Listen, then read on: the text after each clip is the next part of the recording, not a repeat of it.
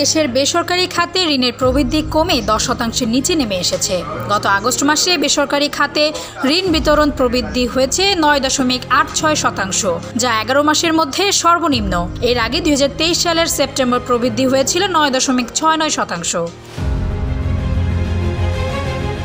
বৈষম্য বিরোধী ছাত্র আন্দোলন, আন্দোলনের সৃষ্ট পরিস্থিতিতে গত জুলাই আগস্ট মাসে দেশজুড়ে সংঘাত, সংঘর্ষ কারফিউ সহ বেশ কিছুদিন ইন্টারনেট বন্ধ ছিল।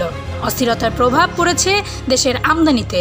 এসব কারণে কমে যায় এলসি খোলার পরিমাণ। এছাড়া সংকোচনমূলক মুদ্রানীতি ও ঋণের সুদ হার বেড়ে যাওয়ার এছাড়া সংকোচনমূলক মুদ্রানীতি ও ঋণের সুদ হার বেড়ে যাওয়ার ঋণ প্রবাহে নেতিবাচক প্রভাব পড়েছে।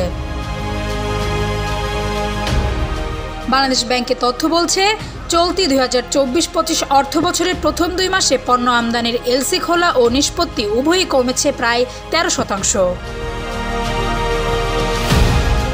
গত জুলাই ও আগস্টে দশ দশমিক শূন্য তিন বিলিয়ন ডলারের পণ্য আমদানির এলসি খোলা হয়েছে, যা আগের অর্থ বছরের একই সময়ের তুলনায় প্রায় এক দশমিক চার আট বিলিয়ন ডলার কম। বাংলাদেশ ব্যাংকের তথ্য মতে, দুই সালের জুলাইয়ে ব্যাংক ঋণের গড় সুদহার ছিল সাত দশমিক সাত নয় শতাংশ। চলতি বছরের জুলাইয়ে তা বেড়ে হয়েছে এগারো দশমিক পাঁচ সাত শতাংশ। দেশে দুই বছরের বেশি সময় ধরে ডলারের সংকট চলছে। এতে ডলারের দাম পঁচাশি থেকে বেড়ে একশো বিশ টাকায় উঠেছে। এর মধ্যে চলতি বছরের মে মাসে ক্রলিং পেগ নামে নতুন পদ্ধতি চালু করে একদিন ডলারের দাম ষাট টাকা বাড়ানো হয়।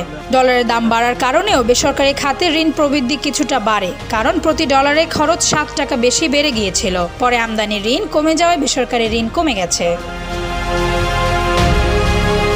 তাস্তবা ভোরের পাতা।